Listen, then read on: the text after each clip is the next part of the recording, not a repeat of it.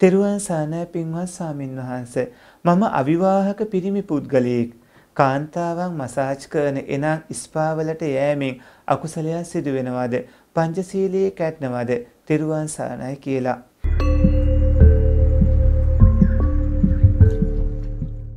පංචශීලයේ කැඩීමට පංචශීලයේ මේකට බලපාන කාමයේ වාදව හැසිරීමනේ අන්සතු කාන්තාවක් හෝ පිරිමියෙක් හෝ සමග කාමයේ හැසිරීම තමයි කාමයේ වර්ධවා හැසිරීමේ සිල්පදේ කැඩෙන හේතු වෙන්නේ. මසාජ් කිරීම කාමයේ වර්ධවා හැසිරීම වෙන්නේ නැහැ.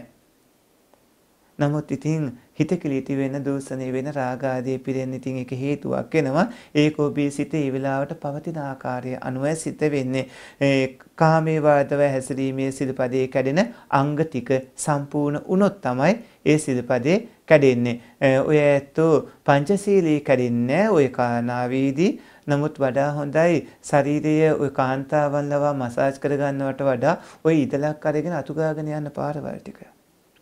කාන්තාවක් ලවා ඔය මස්පිනු ටික මිදික ගන්නවට වඩා ඔය ඇත්තෝ ඔය උදැල්ලක් අරගෙන ඔය කොහේ කොහේ හරි කමන්නේ බලවල් ටිකක් කාලා මී පැල ටිකක් මේ ඔය මොනවා මොනවයි පැල ටිකක් හිටවගෙන හිටවගෙන යන්න. බලන්නකො මස්පිනු ටික හොන්දට වැටලා ඉන්නේ. හැටි සත්‍ය මාත් ඔය ඇත්තන් අතපය එහෙම අපූර්වට ශක්තිමත් වෙලා ඒ හුඟක් කල් ජීවත් වෙන්න පුළුවන්කම ලැබේ.